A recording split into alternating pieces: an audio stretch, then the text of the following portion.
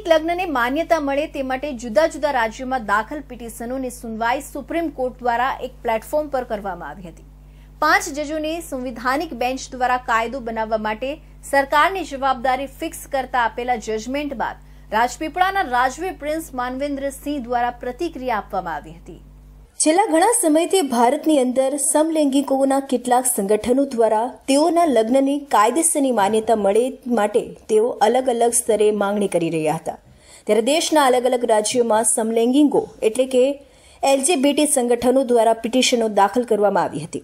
ત્યારે સુપ્રીમ કોર્ટે અલગ અલગ રાજ્યોમાં દાખલ થયેલી પિટિશનને એક જ પ્લેટફોર્મમાં લઈ આવી તેની સુનાવણી શરૂ કરી હતી. કેન્દ્ર સરકાર દ્વારા પોતાનો પક્ષ રજૂ કરાયો હતો.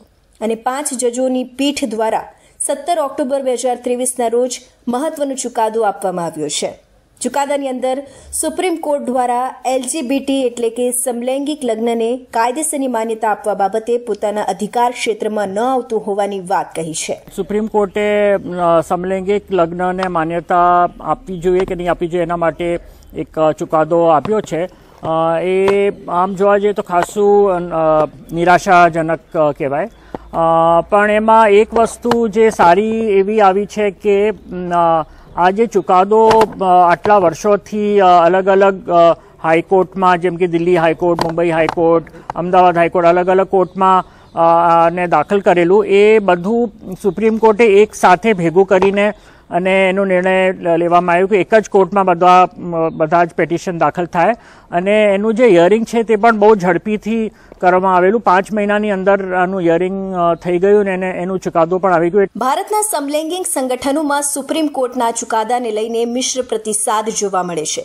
એક તરફ તેઓ એવું પણ કહી રહ્યા છે કે અમે, હવે અમારે કઈ તરફ જવું, તેનો રસ્તો મોકળો થઈ ગયો છે.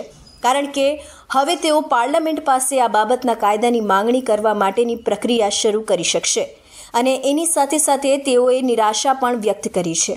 ત્યારે ભારતના કેટલાક સંગઠનો કે જે સમલૈંગિક વિવાહના વિરોધમાં છે, તેઓએ આ મામલા પર ખુશી વ્યક્ત કરી છે અને આ ચુકાદાને આવકાર્યો છે.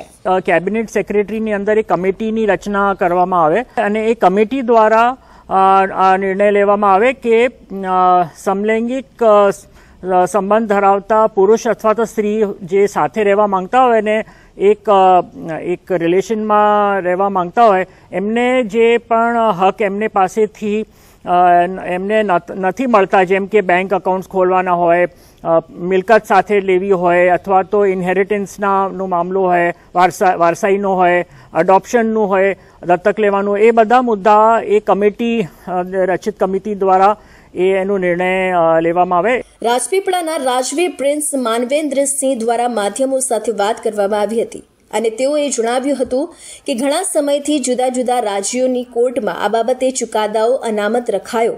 ત્યારે સુપ્રીમ કોર્ટે તમામ કેસોને એક પ્લેટફોર્મ પર લાવી ઝડપથી ચુકાદો આપ્યો. તે બદલ આભાર વ્યક્ત કર્યો હતો.